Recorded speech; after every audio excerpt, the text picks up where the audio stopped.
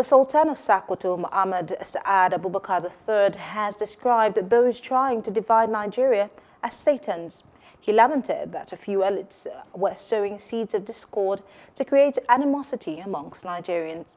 The Sultan, who spoke on Monday in Bauchi, but during a commissioning of an ultra-modern Hajj camp, urged Nigerians to continue to live in harmony and not allow some few elites to use them as tools for destruction. He also called for urgent actions by concerned authorities to restore the confidence of Nigerians.